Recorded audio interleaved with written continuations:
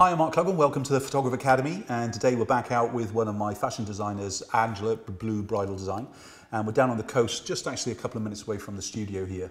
And uh, this is really just kind of talking through the whole shoot so you can get some idea. It's a, a pre-season launch. So in other words, what it, we've got is a selection of the dresses that she feels are going to be her best sellers and the ones she wants to highlight for the white gallery. So she's chosen them specific. Uh, she's chosen location as well, great, because obviously the beach is just down the road from us here. Uh, but I suppose the first thing, if you haven't touched on the business film yet, uh, the first thing to uh, mention is that we over-delivered on this film. Okay, we over-delivered on this shoot, guaranteed, because we had a quote from her, um, so glad you didn't give me what I asked for, you're a genius. And yep, I'll take those compliments any day of the week.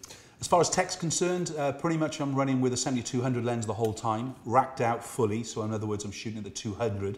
And when you're looking at full length images with distance in, in composition as well, it feels like I'm about a quarter of a mile away to be honest, uh, especially when we're kind of give in uh, directions.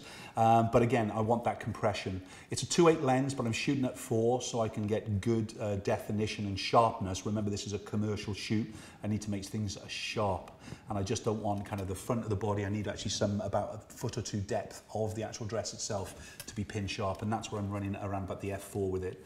Um, if I want to add in some flair at times, uh, I didn't really do that on this shoot, but I could if I wanted to, especially when I'm using the backlight, I could remove the lens hood and that would actually allow some of the backlight to hit the glass of the, of the lens.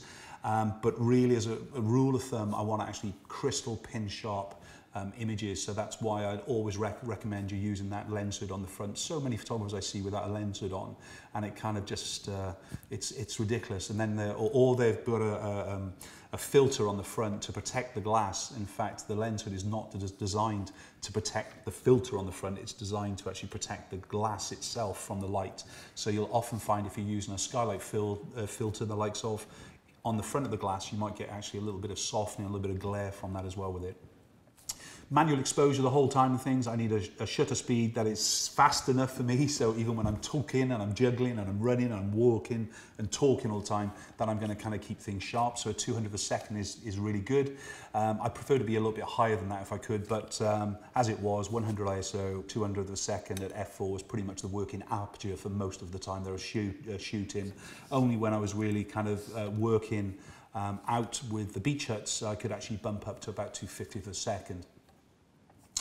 First shot is basically shooting uh, against the wall um, where we've got the railings. That, that was in fact her main location where she wanted to shoot, but it's not the main location where I wanted to shoot. Why? It's basically, it's open light, there's no top shade, there's no direction in other words. So really all I can do is shoot with the sunlight directly onto the subject. Or backlighting. Uh, and if it was backlighting, I was always going to suffer with the location, what was in, in the background in the position we had to be to use it specific and things really. So anyway, um, we're not there for long. In fact, pretty much it's just the test shooting actually going on there. And then you'll soon find that we're going up towards the beach huts and towards the pillars where the majority of the shoot is going to be taking place. Because in fact, that's where I've pretty much convinced her by just showing her one photograph of the difference and the quality. And I explained it to her, look, I can shoot Barry here, but really I want to shoot in Monaco, and Monaco is just up by there. Um, it kind of gave us a, an, an amazing look and feel, uh, because obviously, you know, budgets are tight, and she doesn't have budgets to go to glamorous locations. I only wish. Um, so for me, I've got to shoot wherever Angela says this is where we're going to be shoot, shoot, uh, shooting, and I've got to make the best of it. As far as um, exposure-wise and things really, it kind of goes without saying, I'm always me uh, metering for basically the face of the dress. Um, remember the angle of the light is all, always at the angle of reflectancy. So in other words, as it bounces at an angle off the dress, it will always increase the exposure. So that's always going to be a problem for me no matter what. And obviously what I can't do is just meter for that um, uh, backlight hitting off the dress and things really because obviously everything else would be so, so dark. And we need to actually minimize the amount of work that we're doing in post-production, of course, because this is a budgeted shoot. So by um, exposing for the face or for the torso, that's really what I'm metering for uh, during the course of the shoot. And that allows me just actually to control in the raw file, bringing back a little bit of that highlight around the edge, but hardly any work to be done at all with it. Um, the shoot I thought was originally going to be black and white. Um, I always shoot raw, obviously, um, so I can do the post production. Um, but uh, as soon as she saw the uh, the beach huts and saw all the colours with that, she got in love in love with it really. And we found ourselves actually photographing quite a lot actually around by the beach huts and so on with it. But uh, again, once more backlighting, so in other words, turning the sub the subject where possible, back away from the light source, get that lovely separation light as it kind of rims around her, and then uh, obviously kind of just getting her to look off towards the side. Uh, if she's looking at camera, uh, camera position, obviously we would tend to actually use a bit of a reflector then to actually make sure the contrast on the face is good. Um, otherwise, it's going to be a lot of work in post-production to actually get to the look and feel. Uh, when I am uh, given the model instruction to do with animation, a little bit of pose, it's more likely than not to either uh, change the dress shape. Um, I've got a look because some of them could be prototypes as well. They're actually in the final design. They might have only been finished like 12 hours beforehand, but I need to kind of pay attention to that. It might be to do that I want some kind of ruffle un underneath the skirt to actually show a three dimension, um, but most of the time, to be honest, it's just to make sure that the model is looking at her best. So by turning the body uh, around about a third away from camera position one way or another, will obviously thin the client and obviously thin a bride in reality as well with it. So that's the kind of the biggest tip. Um, if I'm showing feet, I need to make sure that the feet are looking elegant and they're bringing extra line in towards the photograph. And even though, as I said, Lowry is a, is a great kind of bride model, um, it's, it's also my uh, control that will make it even a better model. That's the key point with it. A, um, a basic way to explain uh, with the amount of images that I'll shoot. Um, if we go back to the years of film, yeah, I was allowed one roll of film, 12 shots per dress and three rolls of film on the main dresses. And we used to shoot between about 10 and 12 dresses in every shoot, the main shoot of the year as it were. Um, whereas on this shoot, obviously, we're just kind of doing what she feels are going to be the best sellers or the relaunch and so on.